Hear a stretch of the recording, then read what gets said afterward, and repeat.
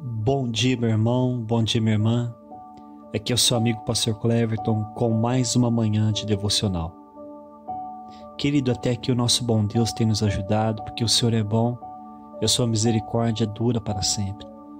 Gostaria de agradecer a todos vocês que já fizeram a sua inscrição no nosso canal no YouTube. Gostaria de incentivar você que ainda não é inscrito, que você venha se inscrever, que você venha ativar o sininho, que você venha deixar aí a sua mensagem em nome de Jesus. Bem, querido, no início do capítulo 11 de Mateus, nós vimos João Batista enfrentando uma crise espiritual em sua fé. E nós vimos Jesus consolando ele, dizendo que ele era o verdadeiro Messias.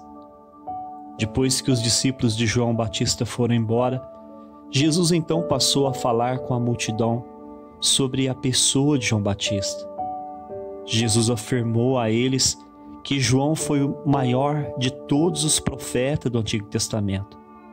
E depois afirmou que o menor na nova aliança é maior do que João Batista. O tema de hoje é o maior no reino dos céus. O texto é o livro de Mateus, capítulo 11, do versículo 7 ao versículo 11. Querido os homens sempre estão disputando em todas as esferas da nossa sociedade uma posição superior. Por exemplo, no esporte, os times de futebol disputam quem vai ser o campeão do torneio. No UFC, eles lutam para ver quem vai ser o melhor da modalidade. Nas empresas, os funcionários lutam entre si por uma melhor ocupação ou um cargo superior. Na adolescência, eles brigam para ser o líder da turma ou quem vai ser o Dom Juan.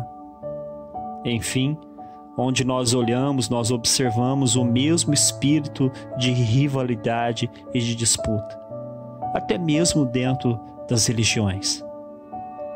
Mas certa vez Jesus observou uma disputa entre seus discípulos sobre quem seria o maior deles no reino dos céus. Então Jesus respondeu a eles, dizendo que o menor deles seria o maior no reino. Ou seja, aquele que fosse servo de todos os irmãos, esse seria grande aos olhos de Deus. Hoje nós veremos Jesus falando sobre esse mesmo assunto ao falar às multidões acerca de João Batista. Mateus 11, versículos 7 e 8. Quando os discípulos de João Batista foram embora, Jesus começou a dizer ao povo a respeito de João: O que vocês foram ver no deserto? Uma cana agitada pelo vento? O que vocês foram ver? Um homem revestido de roupas finas?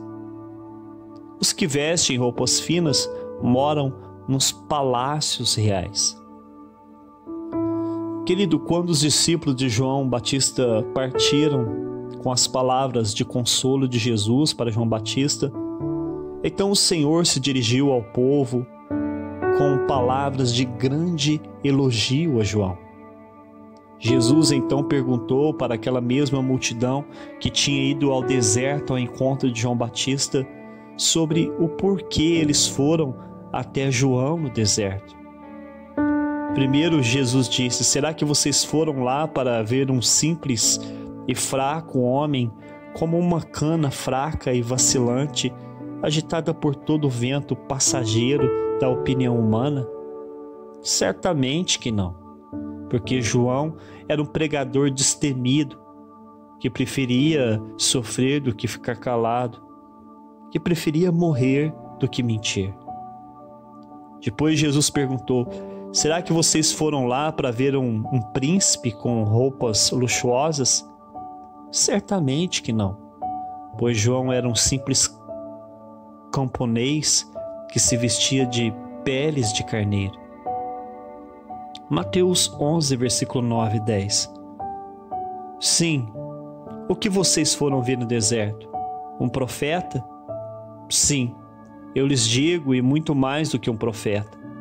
Este é aquele de quem está escrito: Eis que eu envio adiante de vocês o meu mensageiro, que preparará o caminho diante de vocês. Querido Jesus então continuou questionando a multidão acerca de João. Será que vocês saíram ao deserto para ver um profeta? Bem, João era um profeta, mas João foi o maior de todos os profetas. Jesus não estava dizendo que João era maior em caráter ou eloquência ou em poder para operar milagres, pois na verdade João não curou nenhum enfermo. Mas João era maior que os profetas em posição, pois ele era o precursor do Messias. Os profetas profetizaram acerca da vinda do Messias. João Batista apresentou o Messias e batizou ele no Rio Jordão. O profeta Malaquias falou acerca de João Batista como sendo o mensageiro que viria antes da primeira vinda do Messias, anunciando a sua chegada na terra. Mateus 11, versículo 11. Em verdade lhes digo: entre os nascidos de mulher não apareceu ninguém maior do que João Batista, mas o menor no reino dos céus é maior do que ele. Agora Jesus disse que João Batista foi o maior de todos os profetas por causa do seu privilégio que os outros profetas não tiveram.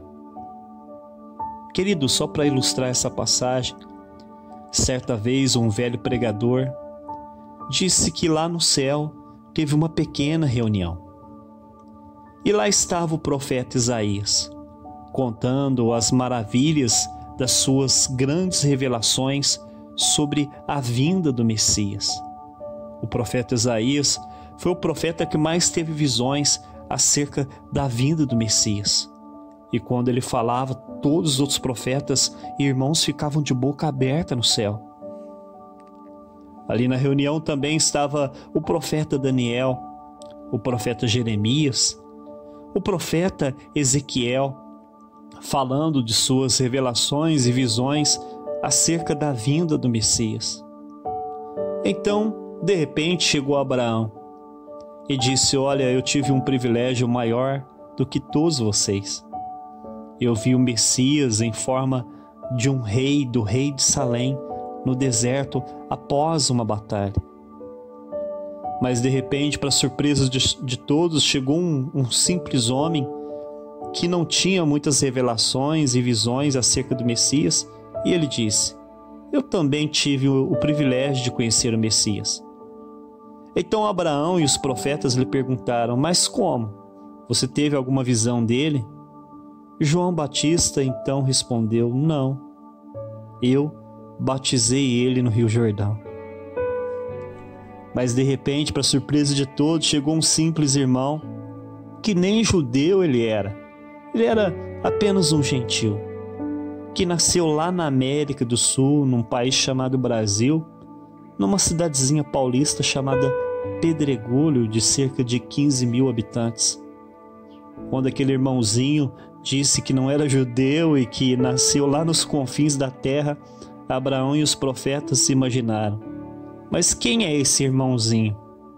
Então ele respondeu: Olha, eu nunca tive o privilégio de ter uma visão do Messias. Eu nunca vi ele, nem andei com ele como seus discípulos ou como João Batista, mas ele habitava dentro de mim. Eu era sua morada lá na terra. Queridos, Jesus disse aqui nesse versículo que o menor no reino dos céus é maior que João Batista e que todos os profetas do Antigo Testamento. Não porque, queridos cristãos, tenham um caráter, um poder maior do que eles, mas é questão de posição e de privilégio. Os profetas profetizaram sobre a vinda do Messias. João Batista viu e anunciou a chegada do Messias. Mas eu e você temos o Messias, que é o nosso Senhor Jesus Cristo, habitando dentro de nossos corações. Amém? Pai, nós te agradecemos, meu Deus, porque nós entendemos, meu Deus, a nova aliança. O Senhor Jesus disse que dos nascidos de mulher, João Batista foi maior que todos os profetas, porque os profetas profetizaram sobre a vida do Messias. João Batista viu e anunciou a chegada do Messias, mas nós vivemos depois da cruz, porque João Batista e os profetas viveram antes da cruz. Mas nós, meu Pai, vivemos depois da cruz e nós temos o privilégio de ter o Messias, que é Jesus Cristo, que é o Senhor, habitando e reinando em nosso coração. Querido, que Deus te abençoe e até amanhã, se assim Deus permitir.